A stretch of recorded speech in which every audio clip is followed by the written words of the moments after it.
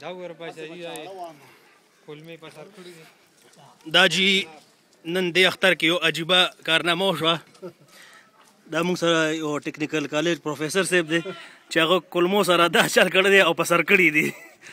قربانې کوم لګیا میا ادورب بچا دا وره قربانې کوم لګیا دا سر هم سپینی او کولمې په سر کړی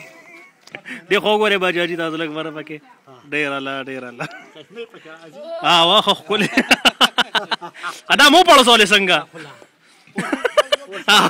دا به چیرمن چې په دې په کې دا به دې دا کوله